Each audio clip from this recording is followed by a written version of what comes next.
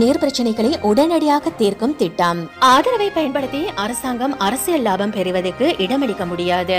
மனோ நாட்டினை நாசமாக்க எம்மால் இடமளிக்க முடியாது. வைத்தியர் ஹரிதா ஆலுத்கே. பிரான்சில் ஆறுநூற்றி நாற்பத்தி இரண்டு உயிரிழப்புகளுடன் முப்பதாயிரத்து அறுநூற்று முப்பத்தி ஒன்பது பேர் மருத்துவமனைகளில். தாய்வான் கடற்படை வீரர்கள் எழுநூறு பேர் தனிமைப்படுத்தப்பட்டுள்ளனர்.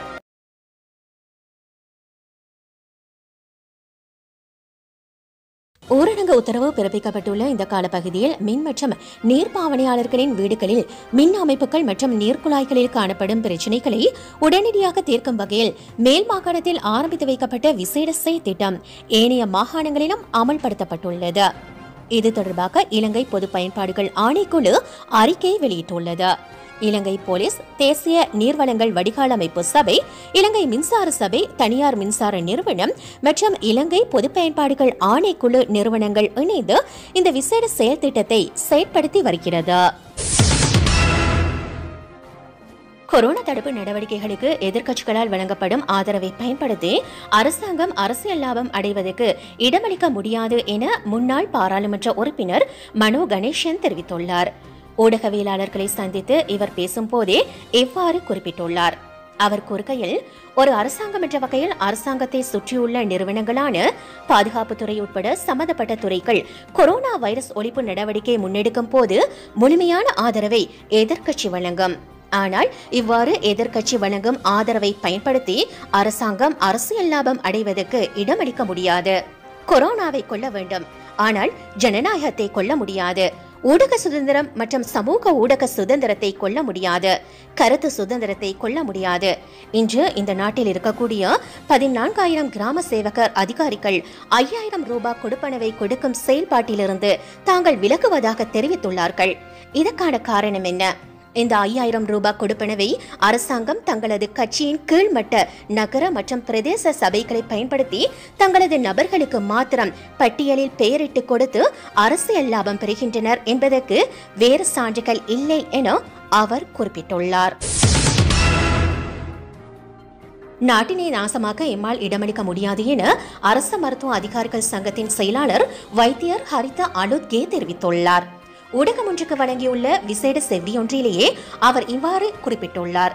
இதன்போது கருத்து வெளியிட்டுள்ள அவர் கொரோனா தொற்று நோய் குறித்த பரிசோதனைகள் முடிந்த பின்னர் அதன் பெறுபேறுகளின் அடிப்படையிலேயே அடுத்த வாரம் நாட்டில் ஊரடங்கை தளர்க்க முடியுமா அல்லது மேலும் சில நாட்களுக்கு ஊரடங்கு சட்டம் பிறப்பிக்கப்பட வேண்டுமா என்பதை கூற முடியும்.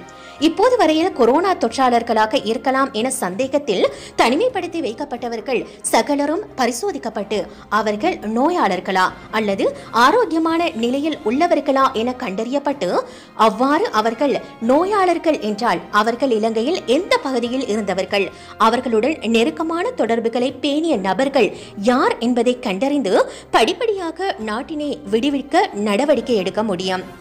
நாளாந்தம் செய்யும் பரிசோதனைகளில் தொற்று நோயாளர்கள் அடையாளம் காணப்பட்டு வருகின்றார்கள். ஆகவே பரிசோதனைகளை ஒருபோதும் கைவிட முடியாத நிலையில் உள்ளது. ஆகவே உடனடியாக நாட்டில் ஊரடங்கு சட்டத்தை நீக்கி மக்களை ஒன்று கூட இடமளிக்க கூடாது என்பதே எமது நிலைப்பாடாக உள்ளது. இதனை நாம் அரசாங்கத்திற்கு தொடர்ச்சியாக வலியுறுத்தி வருகின்றோம்.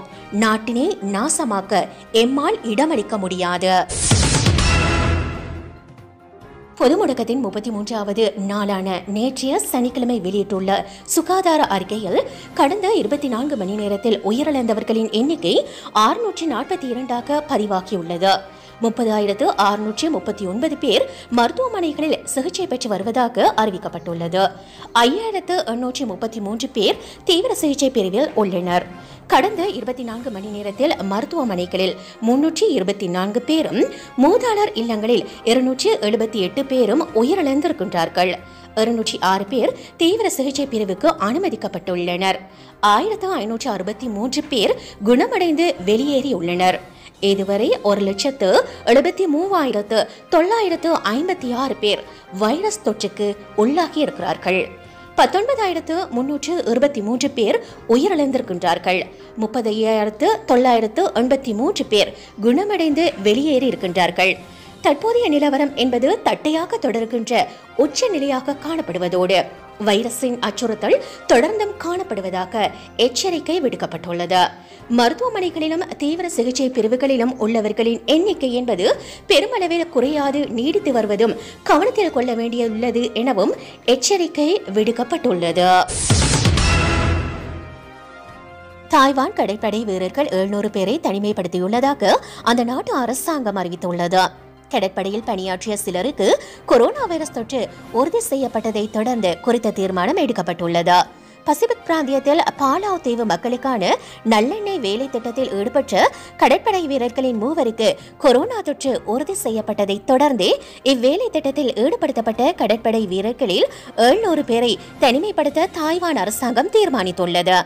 தாய்வானிலிருந்து கடற்படை ஊழியர்களை ஏற்றிக்கொண்டு மூன்று கடற்படை கப்பல்கள் குறித்த தீவுக்கு பயணம் செய்து தாய்வான் மற்றும் பாலாவ் ஆகிய நாடுகளுக்கு இடையிலான இருதரப்பு உறவை மேம்படுத்தும் செயற்பாட்டில் ஈடுபட்டன.